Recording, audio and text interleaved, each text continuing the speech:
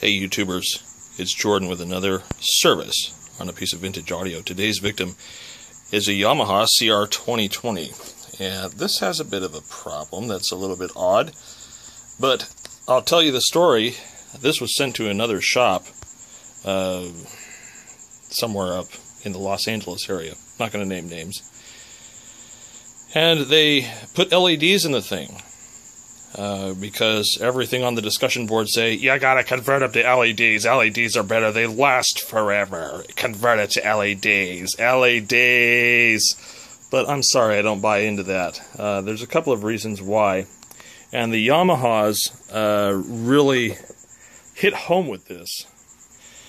Now, first of all, Yamahas base their lamps or base their illumination on incandescent lamps which have a specific loading to them. Uh, between about 80 and 100 milliamperes. Now, you're saying, what the hell does that mean? Well, it means that the system assumes that all of the lamps are going to draw the same current. Now, when you install LEDs, the way the circuitry is laid out, these are nice and bright, but the middle ones here, although they're lit up, are very dim. Also, the dial pointer is barely lit at all, so that doesn't really work. The other issue is is that Yamahas use the power supply that feeds the lamps uh, on some models. I don't remember if it's this one, but on some. And it uses it as part of the fast turn-off circuit for the protection.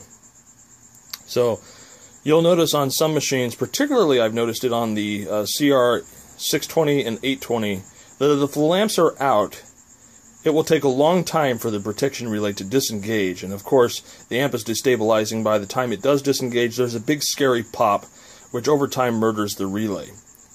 So uh, I don't think that's an issue on the 2020 because the relay pretty much unmutes instantly.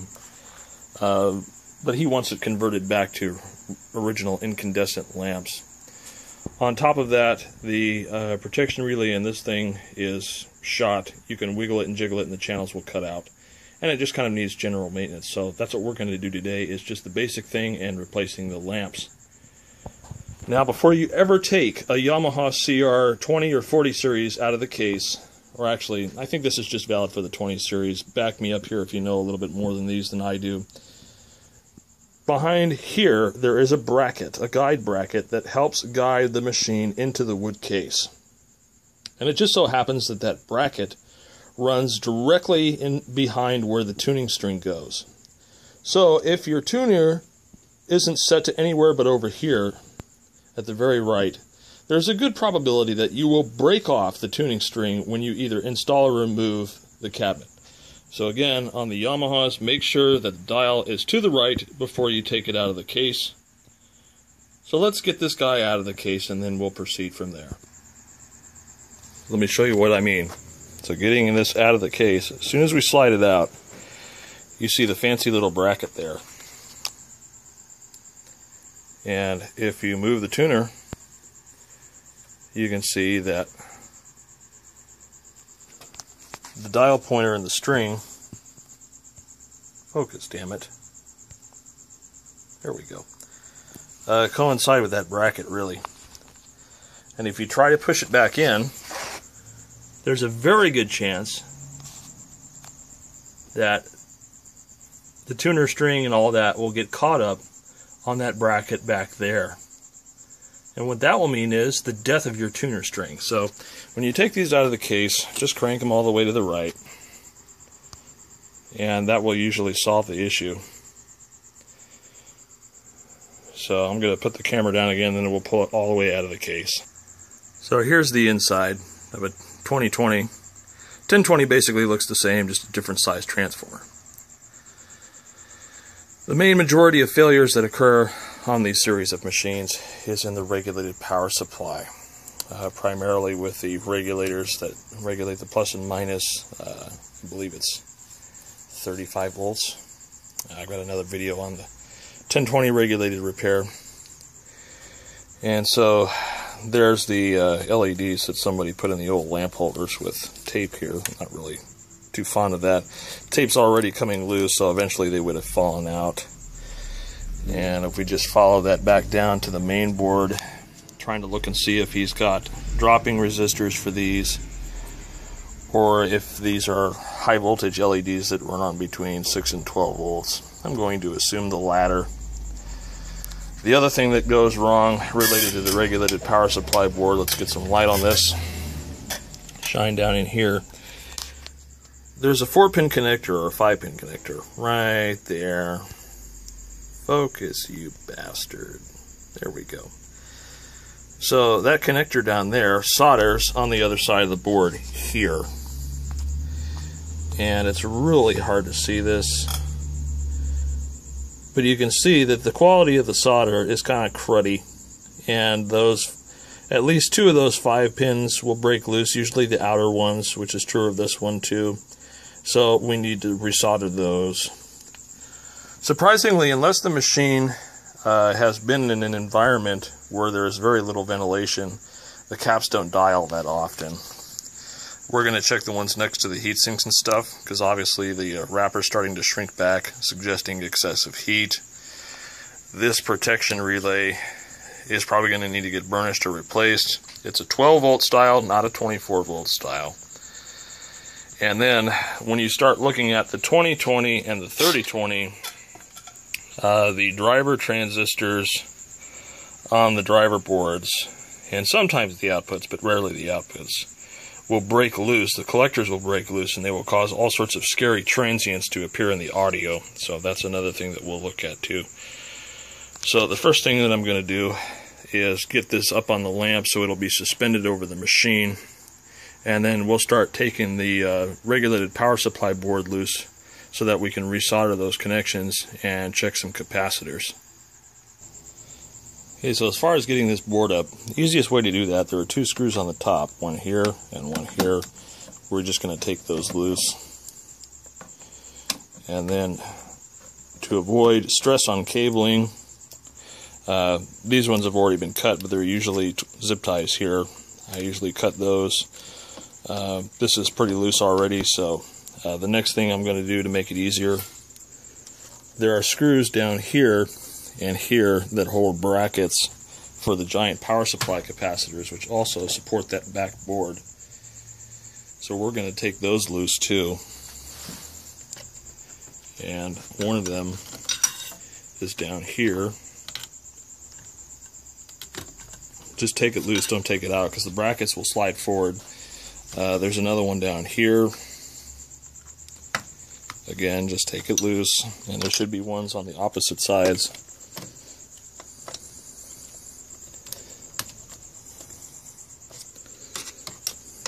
And when you get the board up and out, that will allow you to slide the vertical board forward so that you can resolder it. So now that you've got that loose, holding here and pushing backwards, grab the board and just wiggle it loose. Usually it comes right out. Clear this capacitor, which is why you're pulling back here. And now, something got a little bit hot here. Are fusible resistors here, here, and underneath here, which you need to check too. Given the amount of heat here, that's considerable. So let's see if we can get the setup on its side so we can look at the underside of the board.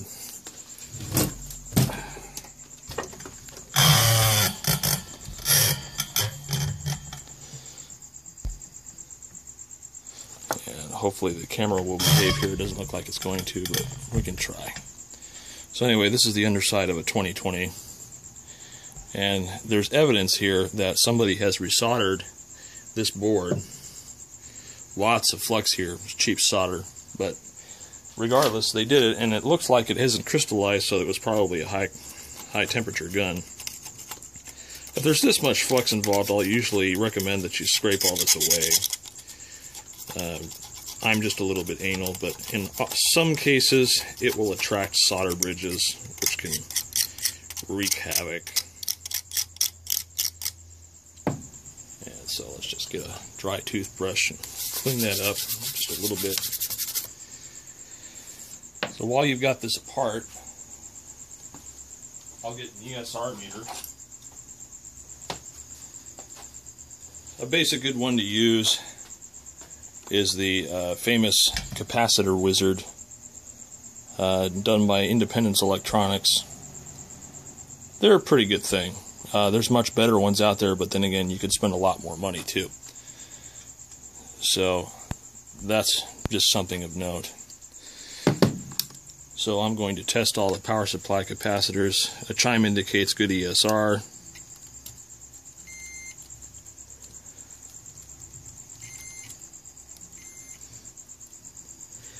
Those ones that look like they were shrunk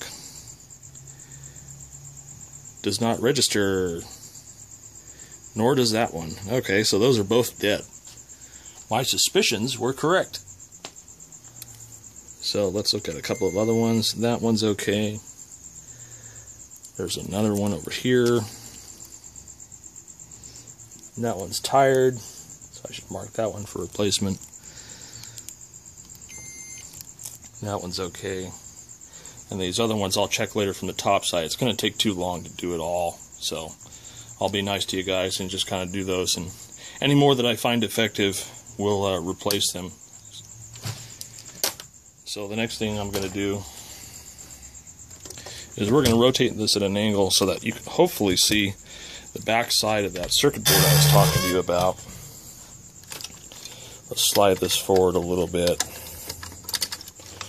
If you want, you can take the front bracket off that holds the capacitors and you can slide this forward even more. I'm hanging up on some, it looks like.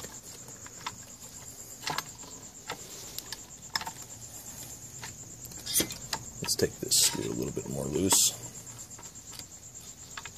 There we go. Likewise on the other side.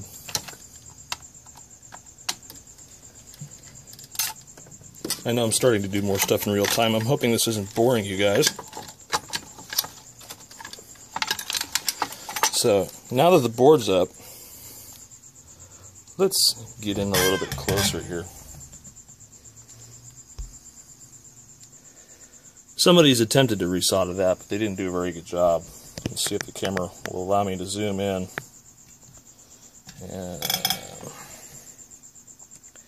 So what you're looking at here is tired solder.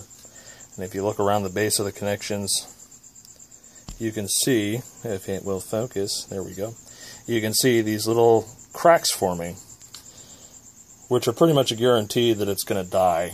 And when it dies, you lose half of your power supply, and things get noisy and whatever real quick. So I'm just going to resolder these real quick and then I'll pause the camera while I replace all these dead caps. And then we'll get to more general maintenance. Oops solder bridge. What to do when you get a solder bridge? You got an old-fashioned solder sucker that's helpful. I'll clean up the rest of that garbage in a little bit. And we'll just reapply this That center one's fine. Somebody looks like they resoldered that one. The outsides one always die first, which makes me wonder whether it's a previous service that weakens it or it just weakens because of the current going through it creating heat, crystallizing the solder. And if you want, you can check that little orange capacitor that stands up at the back while you're at it, which is perfectly fine. So, Ah, I'm going to get the phone and then replace the caps in this thing and we'll continue from there. Okay, so we've got the board back in and I've replaced four capacitors. Uh, they were the two that were obviously checked bad earlier that we replaced. There was a third one here that was kind of tired that we got rid of. And then there was another one adjacent to it that I didn't like at all. Uh, didn't test consistently. One thing uh, I should make you aware of there are a series of capacitors made by Panasonic, which are kind of these purpley blue looking ones. They were in production from about 1970 to about 1978, and you'll occasionally see them in machines. They almost always go bad. Uh, haven't seen an instance where they tested good. Uh, they'll usually be marginal or open. So that's another thing to look at. A great way to troubleshoot death of capacitors is does it have a high frequency going through it, high voltage, or is it next to heat? I'm just going to let the machine get that one. Uh, so anyway, the next thing that we'll focus on is chemically treating all the switches and controls with Caig DeoxIT. Uh, Caig DeoxIT is a wonderful thing. You want it. It's good. Uh, the Yamaha is a little tricky, so I'll do a brief tutorial on how to get that apart. But basically, uh, the top controls are easy. If we just zoom in here, you see the little holes inject the cleaner into the holes of the push button switches and work them a bazillion times. Uh, the speaker selector switch, you can kind of sort of see from down here. It's got that big bundle of wires coming out of it. You can get cleaner down there. The uh, tone and toggle switches are open back. Likewise for the uh, selector switches down here, again open back. You can see the little square openings there. That's where you get that into. Now the tone controls are a little bit of a pain uh, because of where they're located. And in order to get to those, there's a reason why they have screws here. You have a screw here, screw here, screw here, and screw here. You undo these, and these come up and out. Uh, the switches do. And that will give you exposure to the controls underneath, which are the uh, tone controls essentially, and a few other things. Now, if you're really cautious, and you don't want to fidget with the wiring harness, which I recommend because these are old and brittle and fragile. You can take the amplifier boards loose here and here, uh, and you can pull these up and away enough to get these out. These top rows of switches here, in which case you can gain access to the rest of the pots that you'll need to clean. But don't just spray cleaner in the back in the darkened areas that you can't see uh, not the greatest idea. So, because that's such a long and tedious process, I'm going to save that to the end and just do that off camera. And the next thing we're going to focus on is the amplifier boards uh, because it's very common for them to have uh, the screws that hold the driver transistors to the circuit board break loose, which also carry collector current, which when they do break loose will create all sorts of loud popping and cracking and throwing the machine into protect. So let's get one of those boards up so I can show you what you're looking at. With the board up, here's what you're looking at on a 2020. And uh, these are not so much important as the Class A driver here. That needs to be tightened down. Yeah, just a busy day here. And then flip the machine over and make sure that the output transistors are secured that's kind of self-explanatory, so I'll leave you guys to that. I'm going to check all these and then we'll uh, focus on lamp replacements because I got a lot of stuff to tell you about lamp replacements. Okay, so back to this. We're replacing these because they're LEDs. And as I mentioned at the beginning of the video, LEDs are not the best choice for these machines. Uh, these are obviously high voltage LEDs. Let's see if I can get a hold of it here. I really hate that cameras don't focus worth a shit. Let's focus on the close object. There we go. And now we've got, now we've got it. 15 volts AC and DC which is fine because these run on 14 volt 80 milliamperes. So the guy at least had a brain in his head to use the right voltage LEDs, but they don't all load the same. So what we're going to do is replace them with incandescents. That's what the customer wanted. It's back to stock.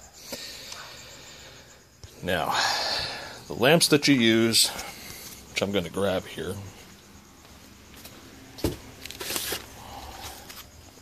Our 14 volt 80 milliampere, and they're about four, four and a half millimeters, 4.12. Anyways, these are the kind of things that you use for this application.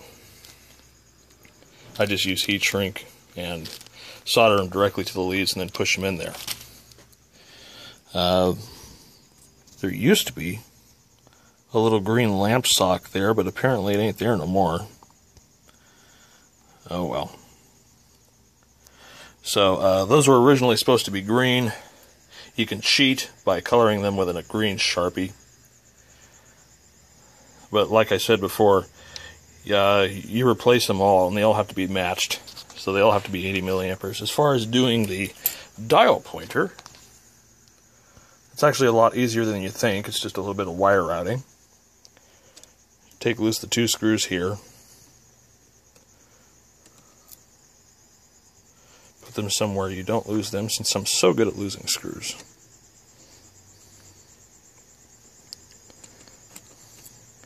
Magnetized tools are helpful here, by the way. And we'll just work that loose. And you put the point source illumination in there too, so that's why I didn't illuminate. It wasn't shining forward, it was shining to the wall of the dial pointer lamp container. You also didn't cover those leads so they could have easily shorted out against the middle plate there, which riding on a grounded surface would have grounded out the uh, lamp supply. Not the best and brightest. Always use heat shrinking with these things. So we're going to replace the lamps uh, using the correct incandescence and heat shrinking, and then color them green to try to restore the uh, best possible. Yes, you can use a green Sharpie, it does kind of sort of work. And then we'll turn it on and see what it looks like. In case you're wondering how I do the lamps, I cut the bare leaves real short, tin both sides, and then I'll just very briefly touch them together. Come on, let's zoom in here a little bit so people can see what's up. Oh, come on. You were just focused there. So that's how it works. And then I will slip the, uh, the heat shrinking over top of them. God, I hate this freaking camera. There we go. So I'll just slip the, uh, make sure they're straightened out. And slip the heat shrink tubing over them. Might have to fight with it a little bit.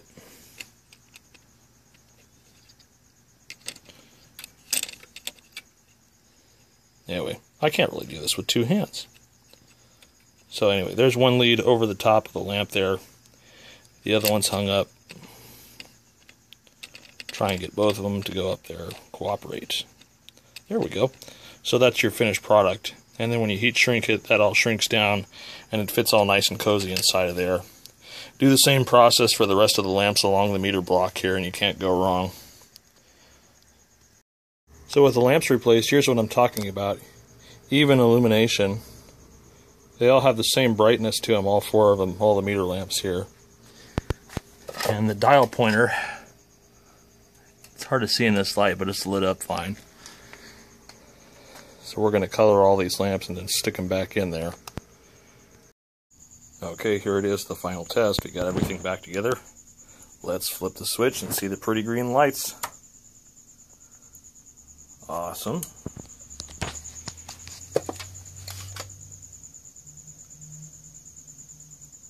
those two must have come out of their socket. So I'll have to get that back in there. Otherwise, it looks pretty good. So let's uh, make some corrections and then we'll try again. Okay, Yamaha lamps take two. There we go. Nice and even now cool. So that'll be good. He'll like that. Let's button this thing back up. Alright, so here it is all back together. So we treated all the switches and controls, the deoxit, replaced those couple of bad capacitors uh, in the power supply, redid the soldering on the uh, 5-pin socket that's on the back of the power supply board, replaced the lamps, and it's hard to tell in this light. Really, the the Yamaha lamps really only work best at night. Um, if you want it to be a little bit brighter, you can use a, a 12 volt uh, style lamp, but they won't last as long. Uh, it was really meant to be an accent so that you could see it in dim light or in the dark. It's kind of a, a cool green color. So, about lamps, going back to the lamp thing again. The guy who I get lamps from is Dave Dave Warjanowski. Uh, really great guy. Goes online by Dwojo. Uh, if you've been around the Audio Karma forums and the like, he is the reigning expert on vintage lamps for uh, receivers, amplifiers, etc. And the difference is, lamps and LEDs uh, differ in the way that they work. The wavelength that an LED puts out uh, is different than an incandescent lamp. And I'm not just talking about color temperature, I'm talking about the way the light propagates to the atmosphere. The LEDs are what I like to call a point source, meaning even if they're diffused, uh, they still tend to concentrate light around where they emit it, versus an incandescent lamp, which has a very wide angle of dispersion, a different wavelength. So uh, this can definitely be evident if you're using those incandescent replacement lamps like, for example, in the shop lamp here, we have a fluorescent and we have an incandescent. Or, excuse me, a fluorescent and an LED. And the LED lamp, yes, it's nice and bright, but I've tried three or four different color temperatures from warm to cool, and no matter what, uh, I just noticed that the light does not propagate into very dark areas very well, but an incandescent will. So uh, the second thing is that uh, not only is it a point source but in the case of the Yamahas, again, has to deal with loading uh, because the lamp circuit's expecting a specific load, and also the protection circuit, which now the turn-off cycle has been improved by about a second and a half, uh, is loaded down. It loads the protection circuit down, so it helps at the fast turn-off. It's just some clever engineer's way of cutting costs. So Dave Warjanowski is his name, goes by Dwojo. He has a website. Google it. Uh, just give him the make and model of your set. Likely he'll have a kit for it. If not, he will research and find what you need. No, it's not as cheap as the piece of crap lamps that you buy on MCM and Parts Express, but uh, they're very long life. Most of what he sells is seven to ten thousand hour lamps, so you're not going to have to change them every year. Uh, and they produce a much more uh, natural light what the manufacturer intended. For example, Marantz are supposed to have that aqua blue to them. And a lot of times these LED kits will turn them a gothic blue, and they don't look very pretty. Um, if you visit repairaudio.com and click on the FAQ section of the website, you'll see the difference between the incandescent lamp and the LED lamp in a Marantz 2270, and there is a difference. So, uh, also, is heat uh, a lot of people just buy whatever's available, and the heat will often distort or destroy the lamp housing. Very true in Marantz machines, especially if they're the later B generation that has the plastic lamp housings. So lamps are very crucial in these machines, not only for looks, but for longevity of parts. And obviously, if you're putting a 300 milliampere lamp in what requires a 100 milliampere lamp, you're going to load down the transformer and eventually overheat the winding that supplies the lamps. So that's not good either. So, uh, anyway, this is the wrap up of a Yamaha CR 2020 service. You can service a 1020 in the same way. 3020 is a little bit different, uh, but I unfortunately don't have a 3020 to show you as far as servicing. So, uh, perhaps if one comes in, I'll make a video on that too. Uh, I'm sorry I didn't get into more depth about taking the front panel switches out to get to the bottom controls. Uh, again, pull up the heat sinks, create some room, undo the top level of screws and pull them up and away to DeoxIT. Uh, it is possible. It's a little bit of a fight, but it's possible. And uh, again, thank you for watching the videos. Uh, there will be more stuff to come soon. As you can tell by where I work, there are a lot of machines in. Uh, unfortunately, lots of garbage too, but I like to focus on the classic and vintage stuff because I believe it has a future uh, rather than just hitting the e-waste site. So uh, keep your eyes open, more stuff to come soon. And for you vintage TV people, yeah, I'm sorry I haven't gotten into a vintage TV video in a long time. I've just been absolutely swamped with work and life and whatever else, so I just try to squeeze these in wherever I can. Thanks for watching. More to come soon.